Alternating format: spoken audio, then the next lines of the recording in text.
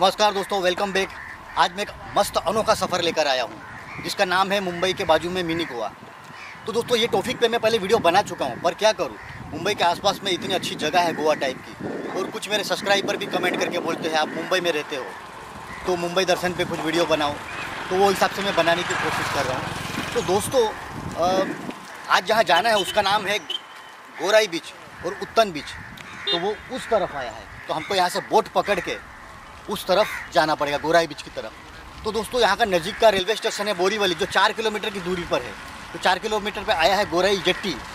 यहाँ से बोट पकड़ के आप जा सकते हैं गोराई बीच और उत्तम बीच की तरफ़। तो दोस्तों, आप देख सकते हैं, सुंदर नज़ारा और ये पगोड़ा है। और आप सुंदर नज़ारा गोराई जेट्टी का देख सकते हैं आप। वो दोस्तों, एक बात बता देना चाहता हूँ कि आज मैं अकेला नहीं आया हूँ। आज मेरे साथ में मेरा वीडियो एडिटर मेरी यूट्यूब वीडियो अपलोडर वो भी साथ में आया है, मेरी खबरियाँ लेने को। तो इनका नाम है, इसका नाम है प्रशांत चौधरी, थोड़ा शर्मा रहा है। तो आज हम दोनों मिल के टूर करेंगे और बोट हमारा वेट कर रही है। तो चलो चलते हैं गोराई बीच की ओर, बड़ा मज़ा आने वाला है। चलिए।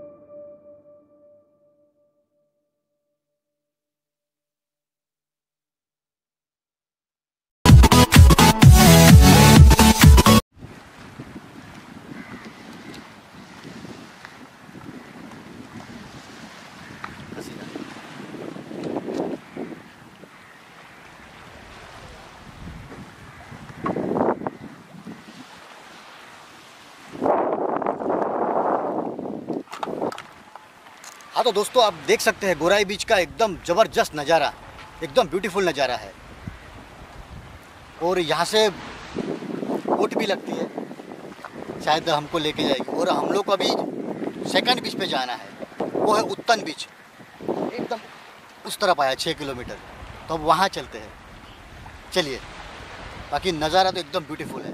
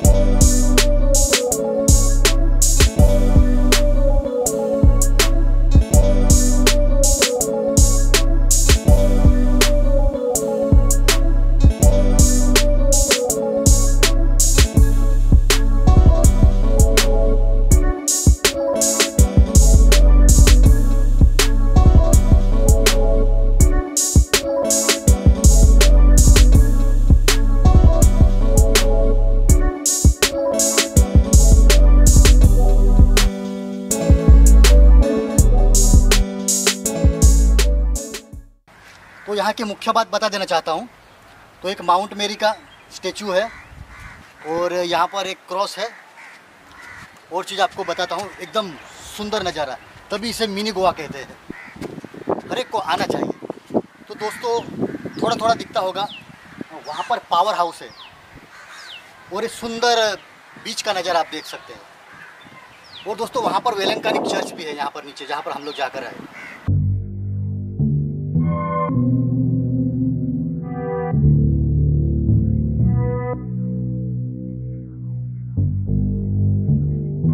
thank mm